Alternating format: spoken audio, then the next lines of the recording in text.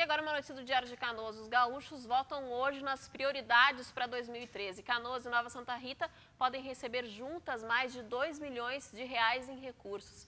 Essa e outras notícias do dia você encontra na edição impressa do Diário de Canoas dessa quarta-feira ou no site do jornal, que é o diariodecanoas.com.br. Acesse lá diariodecanoas.com.br.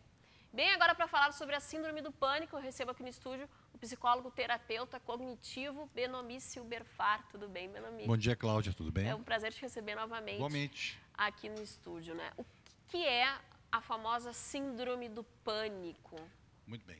Uh, a síndrome do pânico é um dos transtornos de ansiedade, tá? Uh, eu acho que é importante diferenciar o que, que é ataque de pânico e síndrome de pânico. São duas coisas diferentes. O ataque do pânico, na realidade, é uma crise de ansiedade isolada, né? E não, o... não, necessariamente quem tem ataque de pânico tem, tem, uma síndrome de pânico. Não tem um transtorno, tá? Isso é isolado pode ser ocasionado por um momento de alto estresse, tá? O transtorno do pânico, na realidade, é o medo de ter o próximo ataque iminente. Então, tu está com medo intenso de já ter o próximo ataque recorrente, então fica fixado nisso. Isto é a síndrome de pânico. Então, quem tem um ataque, quem teve um ataque de uhum. pânico, algum, algum medo, alguma crise de ansiedade. Numa situação aversiva, tem, por exemplo. Tem que ficar. Uh, atento. Que, atento, porque isso pode desencadear outros ataques. Pode. Vai consultar um médico. O médico vai, por exemplo, identificar que foi um, em função de um momento aversivo, vai provavelmente tomar um ansiolítico por algum momento. Tá? Mas o transtorno do pânico é um pouco mais grave, porque ele é recorrente. Você pode ter alguns ataques durante a semana seguidos, né? Porque você começa a fazer uma avaliação catastrófica dos seus sinais internos e isso agrava. Né? Uh, para tu entenderes na realidade o que é o pânico, teria que entender qual é o conceito de ansiedade. Tá? A ansiedade é uma característica biológica de todos os seres humanos e que antecede situações de perigo, real ou imaginário, e que confere ao corpo todos esses sinais do pânico, por exemplo, uh, sudorese nas mãos, taquicardia, tremor, tremor, tonturas, tá? O que que acontece? Uh, quem tem o pânico, o modelo cognitivo explica que você está avaliando catastroficamente os teus próprios sinais. E tanto que as pessoas estão em pânico, tu vai conversar com elas, elas não vão nem te ouvir, porque elas estão prestando atenção no coração, disparando na respiração muito rápida, e o pânico chega em um determinado momento em que você eh, seja num estágio que as pessoas acham que vão infartar, que vão enlouquecer. Hoje, grande parte das pessoas que uh, chegam ao cardiologia, por exemplo, instituto, uh, não tem problemas uh, de coração.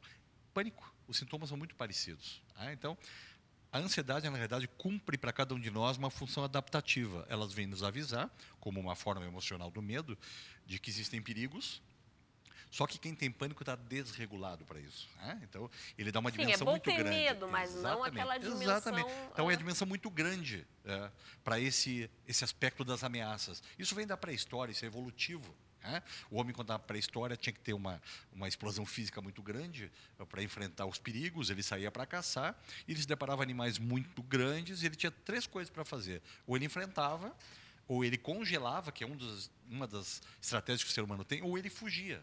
Então, a ansiedade nasceu dessa relação de luta ou fuga. Nesse momento, o corpo se prepara para isso, ou para fugir, ou para enfrentar. Essa preparação do corpo provoca todos esses sinais. Adrenalina, que aumenta a circulação sanguínea, que aumenta a tua pressão arterial, que faz com que o teu coração bata mais rápido, a tua temperatura do corpo sobe e aí tu passa a suar nas mãos, porque o equilíbrio que o cérebro procura, tipo assim, ele está aumentando a temperatura, vamos ah, vamos uh, hidratar esse sujeito. É por isso que esses sintomas aparecem. Mas, fundamentalmente, o pânico, e hoje a prevalência do pânico é 5% na população mundial.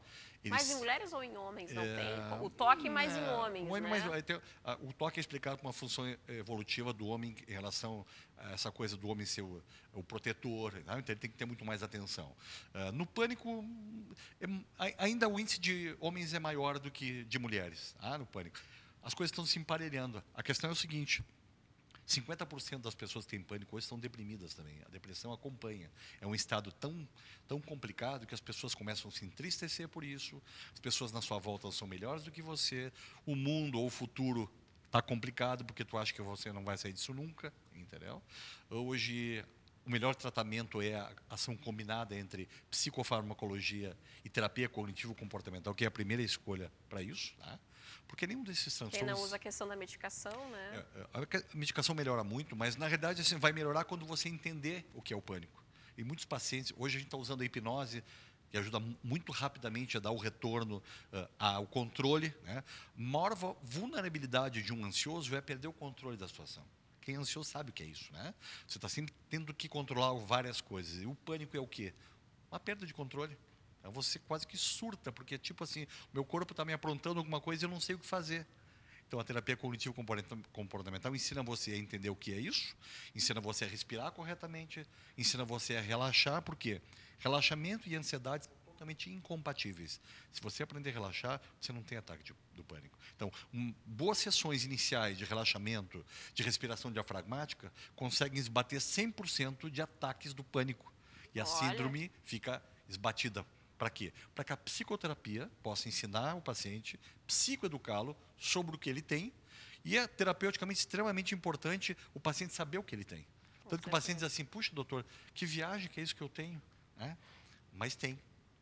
Com ah? certeza. A gente tem uma pergunta de um telespectador, Benomi. Pois não. Uh, o Henrique de Sapucaia está perguntando se a síndrome do pânico pode ser desenvolvida por superproteção dos pais na infância. Pode.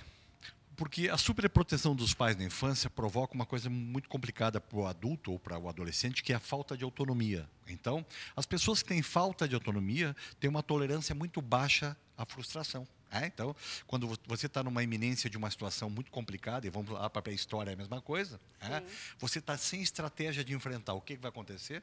O, é, cognitivamente, você não sabe o que fazer. Fisiologicamente, o corpo alerta que aquilo é uma ameaça, né? E quando o cérebro lê ameaça, o que, que ele faz? Ele te dá todos esses sinais de ansiedade. Então, é possível sim que crianças que foram muito super protegidas e que têm pouca autonomia e que têm dificuldade de enfrentar situações novas, dificuldade de resolver problemas, e esses problemas se tornam ameaças maiores do que parecem, a iminência de um ataque de pânico é muito comum. Quais são os ataques mais comuns de pânico, né? O pessoal que está em casa se quer uh, identificar, né, Benomir? Uh, o mais comum significa o seguinte: o pânico é o coroamento de uma crise de ansiedade, né? Você pode ter uma crise de ansiedade muito alta e não ter o pânico. O pânico, a gente diria hoje popularmente, é o top. É quando você perde o controle. Então, você pode inclusive congelar. O que é congelar? Os americanos chamam de freezing. É você estar numa situação de perigo não consegue dar um passo para frente e para trás. Você conhece isso. Crianças é muito comum, né? Crianças que caem uma bola no meio da rua, bota as duas mãos no ouvido e não consegue ir para frente e para trás. É um recurso do ser humano de evitar que o predador te identifique. Né? Só que o predador hoje não é mais um dinossauro, um elefante gigantesco. É a falta do dinheiro, é a dificuldade na escola, é a separação familiar, é a doença. Então, nós mudamos o espectro da avaliação da vida. Né? Não é simplesmente da, da, comida, da proteção e da reprodução. Mudou. E aí nós nos assustamos com o que temos pela frente. Vai caber a cada um avaliar de que forma aquilo é tão complicado ou não. Tu falaste aí do tratamento, né, que é a terapia Sim. cognitiva, junto com a questão da medicação. E tu hum. falaste também, Benomi, sobre a respiração diafragmática, que também. ajuda muito Fundamental. quem tem uh, esses ataques de pânico, né? Eu vou te pedir que não sei se a gente pode ensinar para o pessoal que está em casa. É, vou dizer como funciona. Tá? Uh, nós nascemos, para você entender, nós nascemos, você já viu uma criança recém-nascida, você vê que ela respira pela barriguinha, né? Então, nós nascemos respirando corretamente pelo diafragma. O dia a dia, o estresse, acaba provocando mudanças na respiração e você começa a respirar pelo peito, que acaba provocando uma coisa chamada hiperventilação. Né? Então, o que acontece? Nas primeiras sessões, ou na primeira, inclusive, quando a gente recebe um paciente com sintomas de ansiedade muito graves, a gente explica que a respiração diafragmática coloca oito vezes mais oxigênio para dentro da gente, oxigena muito mais o cérebro. Como é que funciona isso?